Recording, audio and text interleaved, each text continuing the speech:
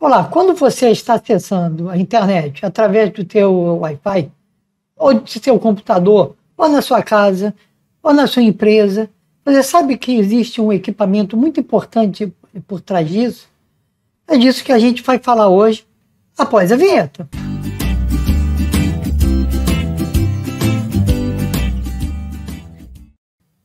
Olá, meu nome é José Fonseca. Eu vou mostrar para vocês, nesse vídeo a partir de agora, como é que é todo esse esquema de, de acesso à internet, ou da nossa casa, ou, ou da nossa empresa, através de um ou mais equipamento.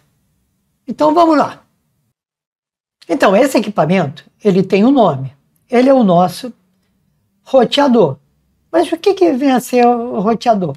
Então vamos ver.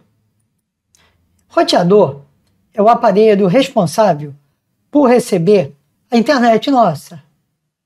A de banda larga, essa que a gente tem uma operadora por trás disso, e ela serve, e esse equipamento serve para transmitir para outros dispositivos, ou via cabo, ou via Wi-Fi, né, wireless, né, o nosso sinal de, de internet. Ele identifica cada equipamento que está interligado a ele, que está acessando ele, e fornece um número de IP a esse equipamento. Certo? IP é um endereço próprio que meu equipamento, meu computador, meu tablet, meu celular tem dentro da minha rede interna, certo? E a vantagem de, de ter um, um roteador é que ele só vai acessar a internet, que ele não vai acessar a internet só via um computador, um desktop, né? Um computador de mesa. E, sim, e outra coisa, ele vai procurar esse roteador, o próprio nome já diz, roteador, ele é de rotas. Ele vai procurar o melhor caminho para chegar naquele endereço que eu estou acessando.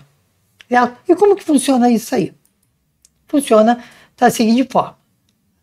A princípio, de uma forma bem simples, eu tenho o meu roteador, que ele está ligado a um modem.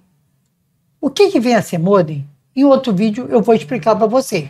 Que está ligado ao meu sistema da operadora, que pode ser via telefone, via um cabo coaxial, até fibra ótica. Tá?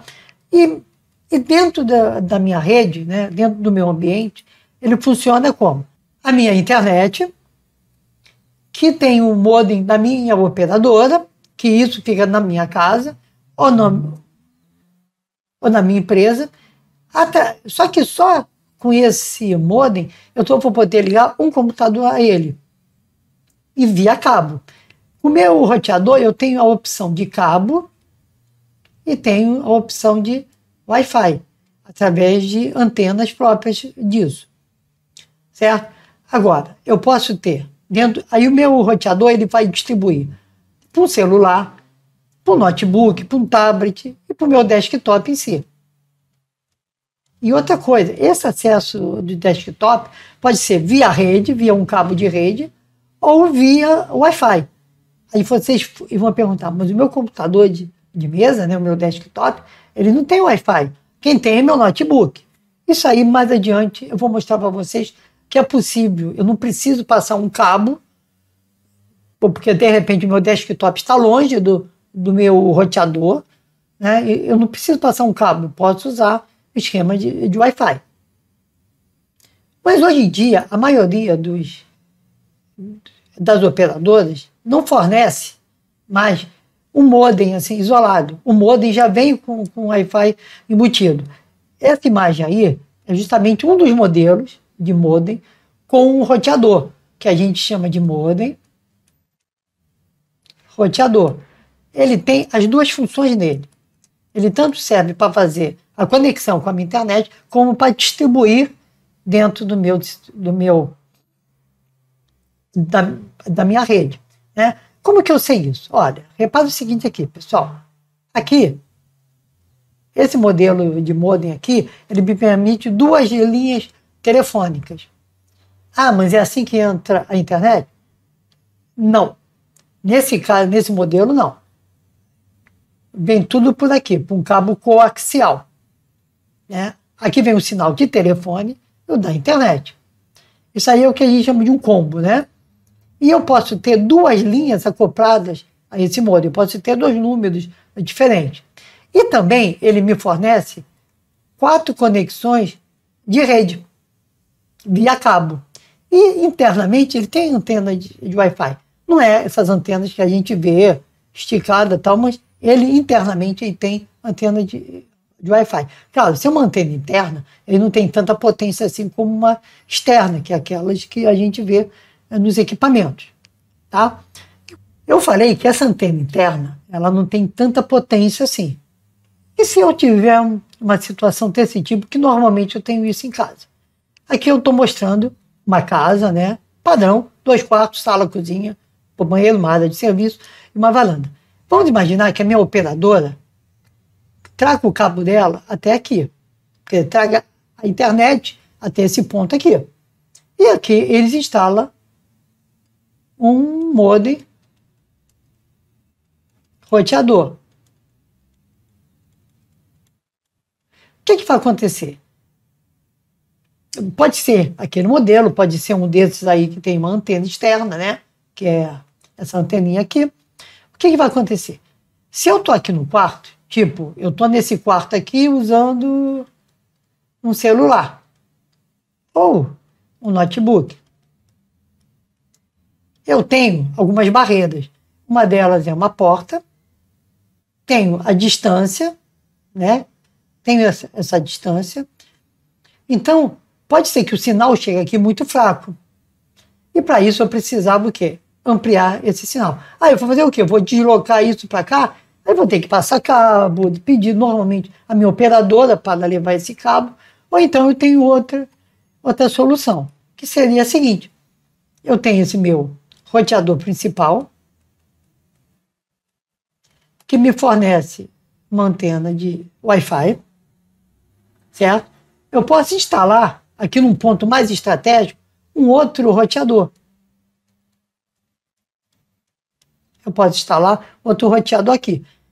De que forma? De duas formas. Ou venho para o cabo, passo um cabo daqui para cá, um cabo de rede, né? Porque ele vai ligar aqui e o outro aqui. Tá? Eu ligo um cabo de rede. Ou então eu posso usar o sistema Wi-Fi. O meu sinal de Wi-Fi, aonde esse roteador vai transmitir e esse vai receber o meu sinal.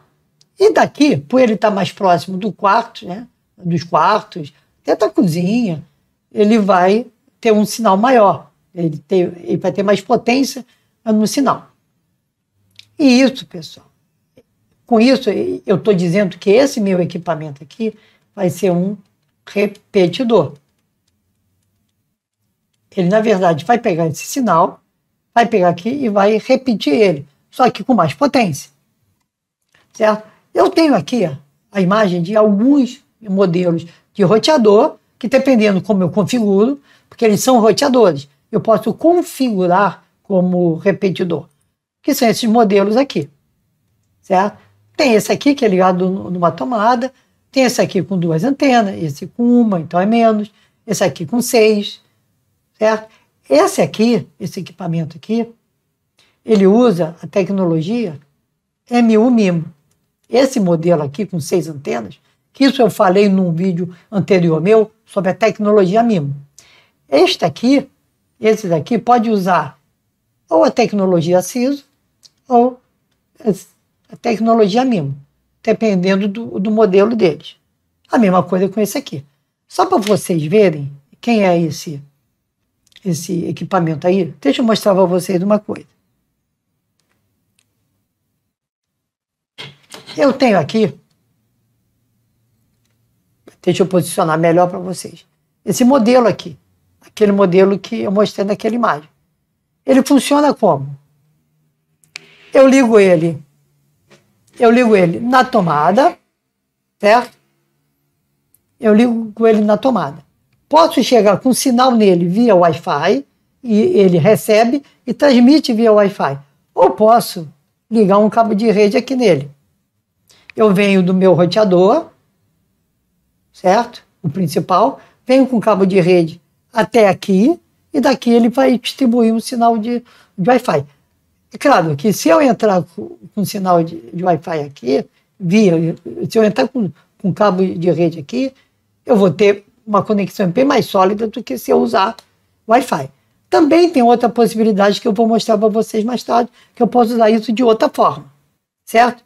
Também tenho aqui para mostrar para vocês um roteador desses modelos aqui, que é o que é esse aqui mais simplesinho, tá? Ele tem essa antena, onde vai transmitir, também pode receber, é lógico, né? E tem aqui as portas de saída de, de rede. Essa aqui é uma entrada, que a gente chama porta WAN, é, que é onde entra minha, a, a minha conexão principal, e tem aqui para mais quatro, quatro equipamentos. Eu posso ter quatro equipamentos de rede aqui. Então, vou voltar para aquela tela anterior. Então, esse é o equipamento que eu mostrei para vocês, tá? Agora, vamos ver o seguinte. Eu falei que eu posso ter o meu desktop, que eu não preciso ter um cabo. Se ele estiver muito longe, né? Deixa eu voltar para aquela tela anterior. Me pode imaginar que aqui nesse quarto eu tenho um desktop. Olha, desktop, todo mundo liga em placa de rede, diz, ah, eu tenho que ter um cabo de rede. Já pensou eu levar um cabo de rede daqui até aqui? A não ser que eu tenha uma tubulação toda própria, então, ou possa fazer serviço, é o ideal. Ou então eu posso ter esse roteador aqui pegando o sinal daqui. Ah, mas como que eu vou levar daqui para cá via cabo? Não, eu posso usar também um usar Wi-Fi. Só que meu desktop, ele não tem um sistema né, de Wi-Fi nele. Então, como que eu vou fazer isso? Da seguinte forma: posso instalar nele uma placa interna de Wi-Fi. Com isso, eu transformo ele em um, em um receptor e transmissor de, de Wi-Fi para acesso, né? Posso também ter esses exemplos de USB, que são anteninhas externas, tipo uma pendrive. Essa aqui é uma antena simples, que eu instalo na minha porta USB e transformo o meu computador em um equipamento que tenha Wi-Fi nele. Instalo os programas adequados, né, os drive dele, e tem esses dois aqui que parece pendrive mesmo, que eu encaixo. Todos os quatro vão funcionar perfeitamente certo? Aí eu falei, ah, mas aí como é que ficaria isso? Da seguinte forma, vamos supor, a minha internet está aqui, chegando no meu roteador principal. Por questão de escolha, eu não vou passar um cabo entre eles. Então, eh, se eu instalei esse equipamento ou este aqui, eu vou receber ele via Wi-Fi, o sinal desse aqui. O desktop é, e o notebook normalmente tem placa de rede também. Então eu posso ligar esse equipamento aqui via cabo de, de rede ou esse aqui. Tá. E se eu instalar esse aqui? Se eu tiver um equipamento só, eu posso fazer o seguinte: ao invés de eu instalar no desktop um sistema de Wi-Fi, se eu estiver usando o desktop, eu posso pegar um cabo de rede aqui e ligar nele aqui. Então ele vai receber de um roteador no outro via Wi-Fi e vai transmitir para o desktop via cabo de rede. Aí o notebook, eu posso usar o Wi-Fi dele. Então, com esse equipamento eu posso ter acesso via cabo de rede e também via Wi-Fi, se, eu quiser. Nesse caso aqui, ele não é aquele roteador de que eu mostrei, que tem quatro saídas de rede. Ele tem uma só. Então, isso aqui essa conexão de rede eu posso usar para entrar o sinal ou para sair ela, certo? Isso funcionaria bem numa empresa, aquele roteador com várias saídas. Vamos supor que aqui entre o meu a minha internet. Olha, se eu instalar o Wi-Fi aqui, né, se tiver um sistema de Wi-Fi aqui, com certeza o sinal não vai chegar aqui e nem aqui, aqui deve chegar fraco. Para isso eu precisaria o quê? Instalar ao longo da minha empresa, em pontos devidamente estratégicos, instalar repetidores. Certo? E é mais ou menos eu teria um, um esquema nesse, nesse estilo. Né? A minha internet entrando no meu modem, esse modem com, com roteador, e distribuindo via Wi-Fi e também via cabo. Normalmente, uma empresa grande também tem a figura de servidores, que eles é que vão controlar, armazenar os dados para ficar tudo concentrado em um lugar só. Mas isso é história para outro vídeo. Espero que você tenha apreciado esse vídeo. Deixe seus comentários aqui com qualquer dúvida abaixo. E até a próxima.